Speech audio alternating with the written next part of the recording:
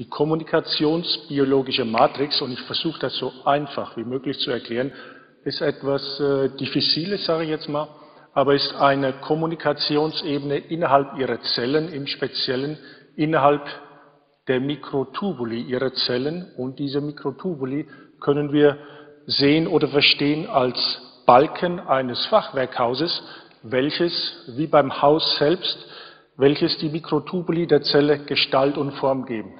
Ihre biologische Masse, ihr Körper baut sich in der Sekunde 40 bis 43 Mal auf und zerfällt wieder in sich. Dies wird gesteuert durch Licht, durch ultraviolettblaues Licht. Das ist aber nur der Steuermechanismus. Die eigentliche Steuerung geschieht durch ein Unterbewusstsein in ihrem Kleinhirn. Dieses Kleinhirn wiederum ist ein absolut nicht subjektives Bewusstsein, das zwar um unsere Sorgen, Ängste, Emotionen absolut Bescheid weiß, aber sage ich jetzt mal, dadurch nicht beeinflussbar ist. Dieses Bewusstsein kann viele Dinge verändern, korrigieren, Bakterien abtöten, Viren abtöten, exakt millimetergenau feststellen, wo tun sie, durch welche Emotion, welche Zellen, welche Zellrezeptoren verändern und wie schädigen sie sich durch ihre Emotionen. Das werden wir uns nachher schon mal alles anschauen. Das heißt, die primäre, die wichtigste Aufgabe unseres Gehirns ist eigentlich Bilder zu formen. So funktioniert Information. Was Kobimax macht, es geht oder es reduziert jede verbale Sprache auf eine Primärsprache. Das ist eine reine Bildsprache und mit, dieser Methode können Sie mit jedem anderen Menschen kommunizieren. Es ist dann so, dass nicht ich das korrigiere, korrigiere, sondern das ist Ihr eigenes Unterbewusstsein. Wenn das alleine nur meine Sprache hört, dann beginnt es zu korrigieren. Wenn ich jetzt schon Dinge anspreche, die für Sie ein Problem darstellen, beginnt dieses System autoregulativ durch sich selbst zu korrigieren. Nur, dass Sie das jetzt schon wissen. Für Sie wichtig, mit diesem System können wir willentlich, vorsätzlich oder ungewollt keine Schädigung herbeiführen. Denn dieses System versteht oder weiß genau, was es dem Körper, dem Organismus zumuten kann und was nicht. Über dieses Schwingungssystem dieser Mikrotubuli können Sie Medikamente einbringen in Ihren Körper. Über dieses Schwingungssystem können Sie jede Therapieform, die Sie sich vorstellen können, leider können Sie implizieren. Sie ist schon in Ihrem Kopf drin. Die größte Apotheke, die es in diesem Universum gibt, ist Ihr Kleinhirn. Und dann ist das äh, für das Klein- oder für Ihr Wachbewusstsein oder für Nucleus caudatus kein Problem. Denn es hat Daten angelegt, du wirst täglich vergewaltigt, du wirst geschlagen, aber du lebst. Das ist das Primäre, was es überlegt. Wenn Sie allerdings jetzt einen Entschluss fassen wollen, Sie wollen sich trennen von Ihrem Peiniger, Alarmstufe Rot, denn dafür hat Nucleus caudatus keine Vergleichsordner. Und nichts ist schlimmer als das Unbekannte für dieses primitive Gehirnteil, was in uns drin ist. Und es generiert nicht nur Angst, sondern es hypergeneriert Angst. Und über Angst sind sie steuerbar. Über Angst kann man ganze Nationen, kann man Milliarden von Menschen steuern.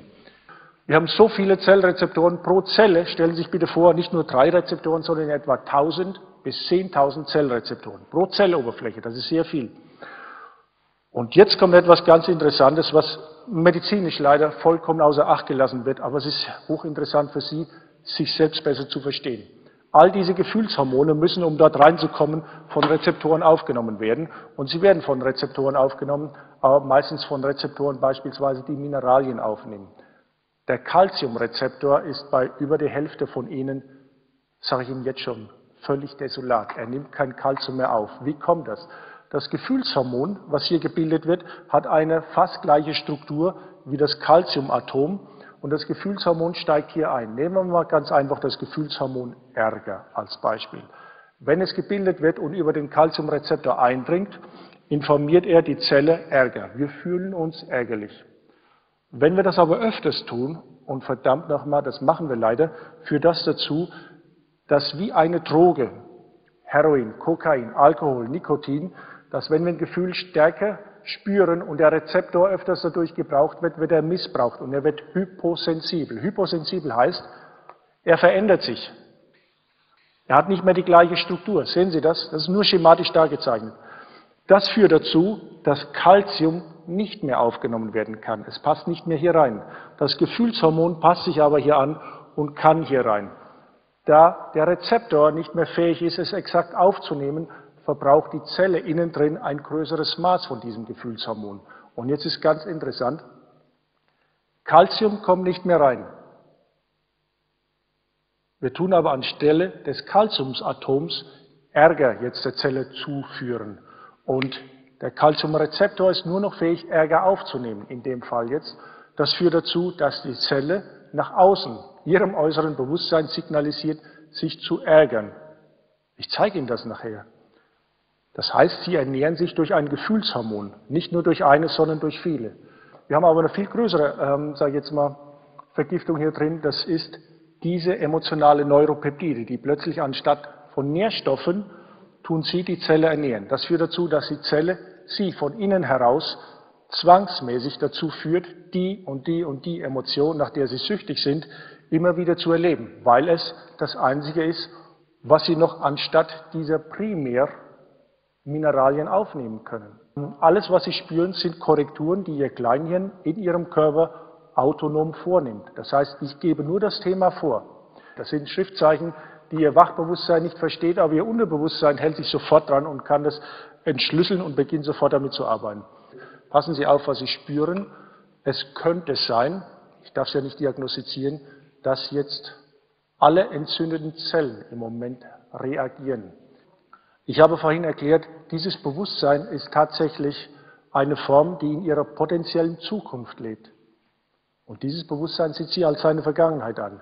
Wir korrigieren die Vergangenheit dieses Bewusstseins und das sind Sie.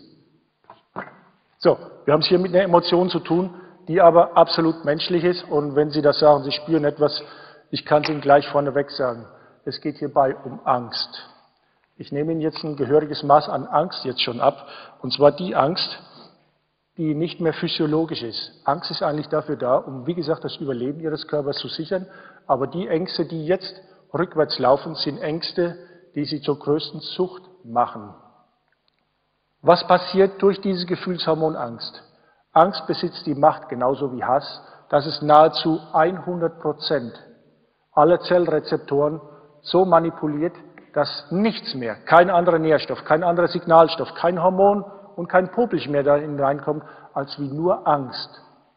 Dadurch muss der Mensch, der Angst so tief erlebt, seine Angst immer wieder selbst erzeugen.